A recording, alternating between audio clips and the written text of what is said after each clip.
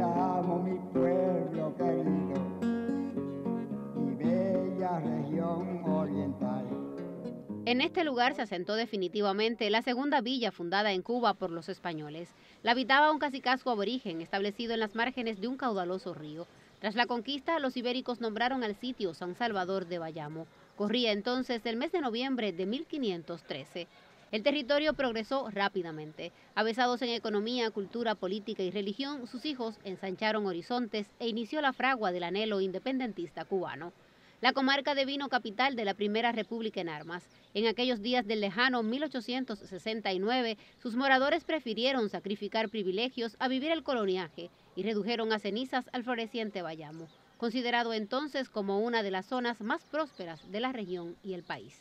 Tierra natal de hombres como Carlos Manuel de Céspedes, Perucho Figueredo, Francisco Vicente Aguilera y José Antonio Saco, este suelo vio crisolarse la nación y al calor de las pasiones libertarias de su gente nació aquí el canto que soy himno nacional. ¡Viva la libertad! Del clarín escuchar el sonido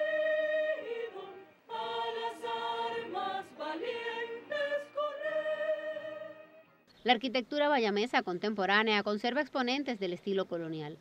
Al abrigo de su irregular trazado urbano encontramos instituciones museísticas con valiosa documentación y evidencias del rol de la cuna de la nacionalidad en el devenir sociocultural del archipiélago. Declarada Monumento Nacional en 1935, la otrora villa de San Salvador conserva antiguas costumbres que llegan a nuestros días con la popularidad de antaño. Tal es el caso de la elaboración de fiambres, dulces, panes criollos y artesanía diversa. Pasear en coche sigue siendo atractivo de muchos. Quiero ir a Bayamo de noche